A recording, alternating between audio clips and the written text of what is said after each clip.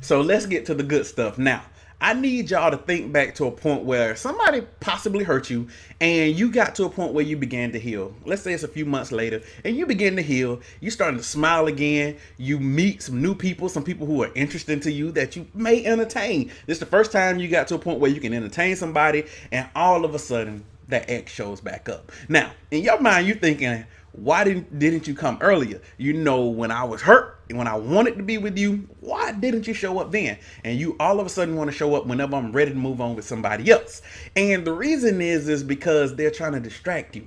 And so if you want to get back at an ex, and when I speak of these exes who hurt you, I'm talking about individuals who took advantage of you. I'm not talking about healthy situations where you mutually agreed to separate and it just wasn't the right fit. I'm talking about these individuals who are narcissists, these individuals who basically used you to get what they want and then they moved on. So they hurt you intentionally, or it wasn't necessarily intentional on the part of I want to see this person hurt per se, but it's that I need to get what I need to get and then I'm moving on. That's who we're talking about. And so the first thing you need to do is rediscover your worth and your value because when you're dealing with a narcissist, you're dealing with an individual who takes pride and they build themselves off of somebody else being attached to them, feeling valuable to another person. And so when you rediscover your value, you're basically saying that you no longer matter to me. When you get to a point where you smile again, when you get to a point where you begin to entertain somebody else, then you're sending the message to them that you don't have that stronghold over me anymore.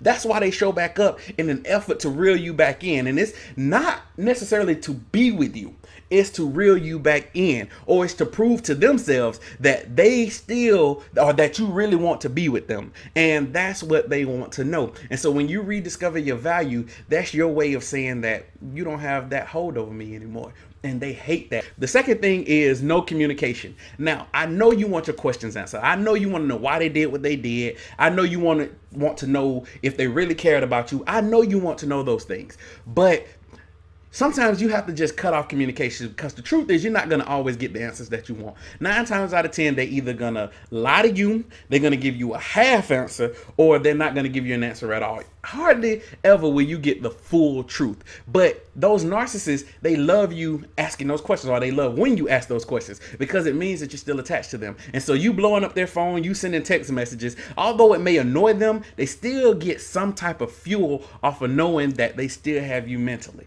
And so when you cut off communication, it confuses them because they are used to individuals chasing them. I'm pretty sure you're not the first individual that they hurt. And so they are used to people chasing them, and that's how they build themselves up. That makes them feel like they're somebody. And the third thing is to make them feel like they do not matter. Now, if it's a true narcissist, nine times out of 10, they're going to come back down the line because what they're going to try to do is smooth things over with you. They're not going to do it right away, but they're going to try to come back whenever you're at a better place and say that, you know what, I messed up. Um, and this is is like that first scenario I talked about. Whenever they show up when you're about to move on, they'll say, you know, I I, I shouldn't have done you that way. You're such a good person. Um, you're gonna make somebody such a great uh, girlfriend or boyfriend. But the one thing they nine times out of ten they won't say is that I want to be with you because they never had any intentions in the first place. But in that moment, they're going to try to apologize to smooth things over because they don't either want a bad reputation or they they they just feel a little guilt.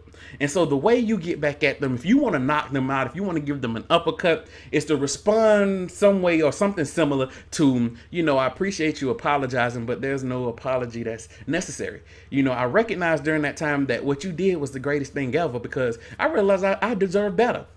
I realized that, you know, I was settling and that, um, you know, I deserve so much better. And I'm at a place where I'm just truly happy. And so thank you, actually, um, because I realized that, you know, there's a better situation that's out there for me. And if you hit them with that, I, oh, that's a that's a knockout. Man. I need you to understand that's a knockout because in that moment, what you told them is that they're not worthy of you.